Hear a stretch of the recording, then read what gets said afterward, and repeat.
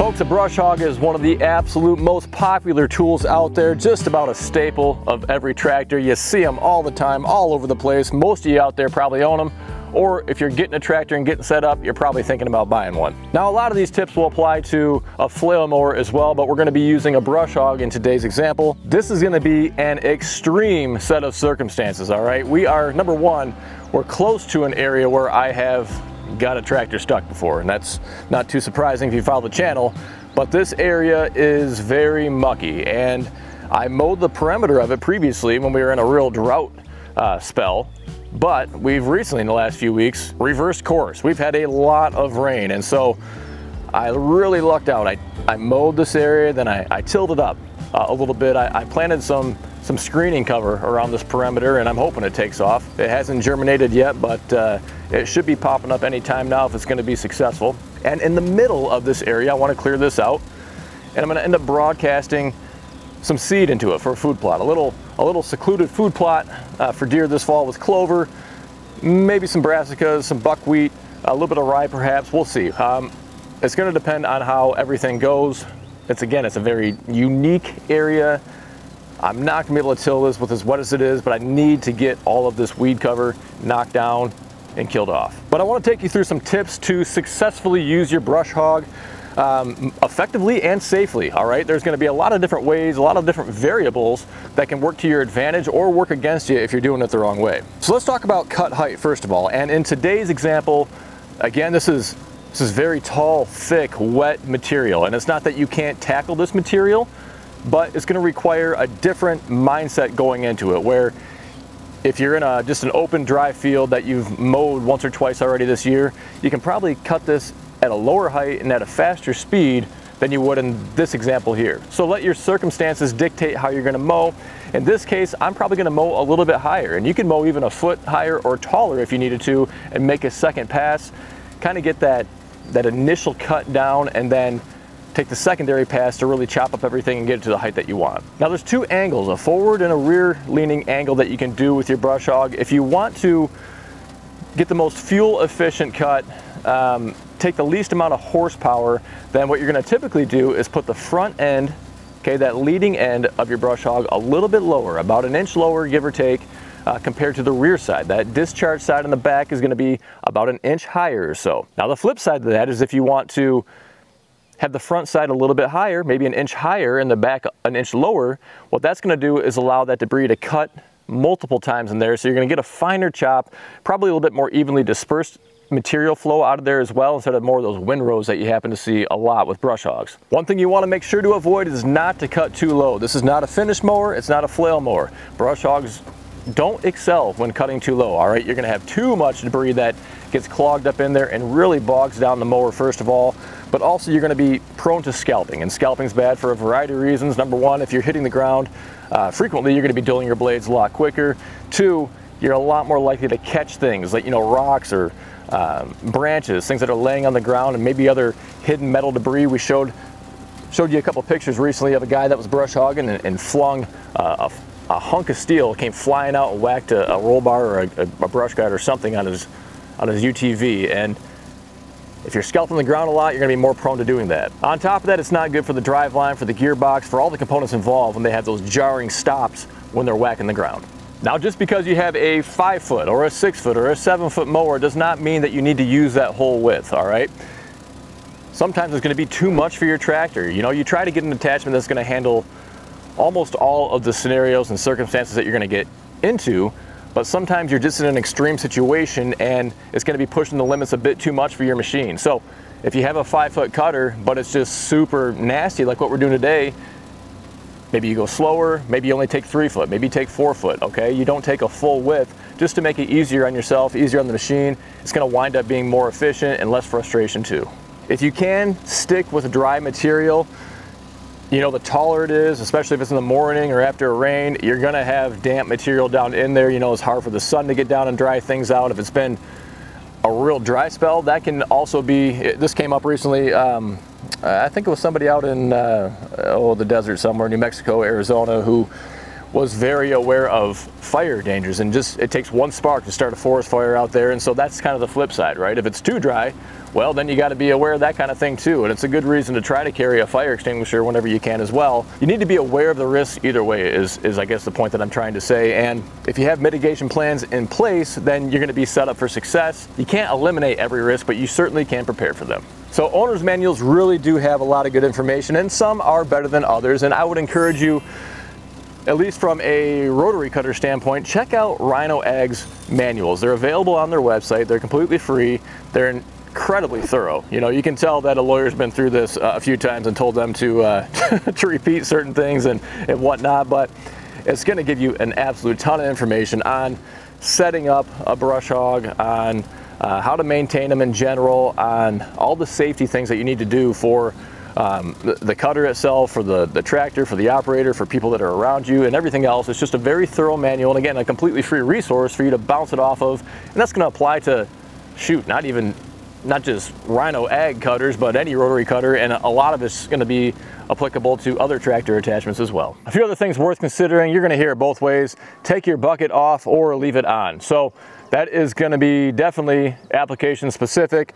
Uh, it's good to have your bucket on there because you do need some counterweight. Typically around 20% of your total tractor weight should be up front. Um, you need to maintain steering, right? You want to avoid the bounce of having not enough weight up front, but then also you're going to steer with your front tires. So if you don't have enough weight up there to hold those tires on the ground, you're not going to be turning very well. Another benefit of having your bucket is if you are in a situation like we're in today where there's a risk of getting stuck. Using your bucket to get you unstuck can be done, and if you don't have it on there, well, that's just gonna make things worse. The flip side, okay, removing your bucket is gonna make it easier to maneuver, and that's gonna be not required for a lot of folks, and we don't really need to worry about space restrictions uh, in the area that we're mowing today, but if you are in a tight area, in tight quarters, you know, that's an extra, oh, I don't know, 18 inches, two foot that you can knock off of the total length of your tractor and make it that much easier to turn in tight spaces.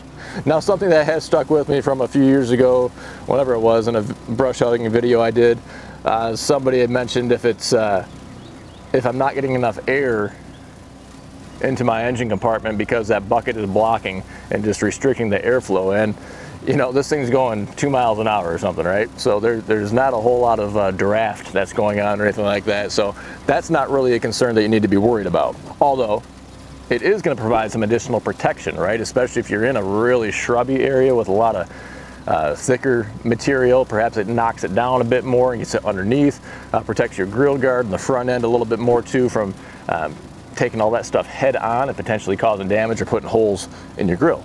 But speaking of grills, radiator screens, all that kind of thing, man, it depends on the season that you're mowing in, but those things can clog up so bad. You got to pay attention to the temperature gauge on your tractor. You'll see that needle start to climb, and if it gets into the red, that's no bueno. All right, so pay attention to that, and you're going to see stuff flying all around all the time. And in certain seasons, when things are pollinating and whatnot, are going to be worse than other times of the year too. But plan on a little bit of extra time to hop off that tractor, leave it running at idle. That's going to help the system cool down uh, and get the engine temperature down. Put the safeties on and everything else, and then use common sense, go around and, and, and knock off all that built up debris that's trying to get sucked in and clog things up. That is what is restricting airflow and could potentially damage your tractor's engine if gone unchecked. Most tractors these days will tell you to engage the PTO when you're at idle and then slowly rev it up from there. So typically that's gonna be what you wanna do. Reference your owner's manual if it tells you anything different. You're gonna be in low range when you're mowing. You know, you'll hear folks say they can go flying along with their brush hogs, but that's just a recipe for disaster. Stay in low range, go slow, be under control, know that you can come to a stop immediately if you need to, especially on new lands, new areas, or, or tall grass areas. You know, folks have commented, and, and gratefully so, land that they've owned for 20, 30 years, their whole life, whatever it is, there's still areas where there's washouts that might pop up from time to time after a storm. There could be sinkholes. Terrain changes. Nothing stays the same. So circumstances are going to change all the time and if you're going too fast that's when you you hit that sinkhole or that's when you know a washout happened and you go teeter-tottering down in it and tip over. We mowed a new property that I had a couple of years ago and ran over a pickaxe that was just buried in the weeds out there. Fortunately, um, it didn't go flying anywhere, but we just ran right over it. But there's there's all sorts of stuff that can just be hiding down in there that you maybe you had something on your tractor that you hauled along with you or on a UTV you never could find it. You don't know what happened to it and it's just lying out there in the field somewhere. Then the next time you're out there mowing you pick it up and it goes flying somewhere. Typically you do want to have your roll bar up and your seat belt on. Again that's for those hopefully unlikely scenarios but that's why we all wear the seat belts and that's why they have them on here to begin with. Have your roll bar up your seat belt on so if you do hit a pothole if you do maybe climb up. Maybe it doesn't even be a, a pothole. There could be a, a stump or um, a log, some, or maybe a cinder block that's just hiding in the grass and you just don't know about it enough to get you cattywampus and maybe one side goes up a foot, two foot in the air and rolls things over and it just happens in the blink of an eye. So there's areas like the four foot areas that we're mowing today, parts of it I've never mowed before. I'm gonna go slow, expecting, right, there to be something there. Probably won't be, but there's always a chance. We're proud to be sponsored by Rim Guard Solutions, a liquid ballast weight. It goes right inside your tires, completely hidden, we're big on safety on this channel. These tractors are just too light and tippy right out of the factory. Not only is it gonna help with safety, keeping those rear tires planted on the ground, it helps with loader efficiency and traction too. The benefits of Rim Guard include being the heaviest all-natural liquid ballast weight on the market. It's not gonna corrode your rims like the old calcium chloride. It's not gonna freeze, and it's available at over a thousand dealers nationwide. Find the dealer near you at rimguardsolutions.com. Dealing with hills is very dangerous. You know, this could be uh, just a, a hillside in your field. This could be a hill going down to your pond. It could be a ditch bank along a road. We've mowed all these scenarios. And when you can, avoid side hilling, driving sideways along the hill. Always drive up and down, all right? Maintain four-wheel drive. That's gonna give you uh, braking power to the front axle as well. And I prefer to back down hills, all right? So start at the top and back down. You can drive down them and that's going to be I'll leave that up to you guys on what you want to do but the safest operation is to back down those hills and it makes sense backing down along a, uh, a pond for example but it's going to allow you to quickly climb back up and out if you need to and the last thing I would probably say is really get yourself a cab tractor. if you're out there brush hogging in the in the heat all summer long, man, if you have allergies, if you run into uh, hornets or wasps or anything else, if you just get sick of the heat, if you want to keep the sun off of your skin, anything else, a cab is just so hard to beat. But if you can't afford a cab, because that is a really nice luxury and not a necessity, well, maybe look at a canopy. We still have to add one on to this 2038R. We actually just got one in uh, recently we got to throw on here, but the Rhinohide canopy is is nearly indestructible, all right? It's super lightweight. You can take it on and off for trailing or for storage. It's easy to put on. It's gonna keep the sun off of you, make it more enjoyable to be out there on your tractor because it is tough when that sun is beating down on you on those hot summer days. Okay, so out here is a little tiny secluded food plot area and again, very mucky. Um, I really gave it high throttle to get through the area that we had previously mowed and tilled up because that is one of my other tractors almost got stuck down in there and the Kubota got stuck about uh, 20 yards away from us. So that's the difference though between having all of the, the grass that's growing here versus nothing, right? The, all that grass that's growing really allows that ground to firm up a lot um, and soak up a lot of that water. Not that it's not still spongy and you have to be careful, but it just makes a dramatic difference. I had a few comments when we mowed this area previously about how I'm mowing down all the goldenrod and all this other uh, great pollination habitat and everything else, and that is true. Uh, we're, we're mowing down a small portion of that now, but you can see we're surrounded by it as well, all right? This is just a small pocket in the middle of our 40 acres. And in fact, we're gonna end up planting, oh, I think it's about another four acres or so of pollinator habitat, maybe a little bit more than that even, um, later this fall and next spring as well. So we're gonna more than make up for that. We're just kind of restructuring and relaying out the property a little bit uh, for our needs too. I decided early on that I'm going to try to just take one pass today uh, as low as I can go. I just want to see what would happen with it and overall it did well. It did leave some stems uh, in some of the areas there uh, but overall it, it's going to tackle the vast majority of it.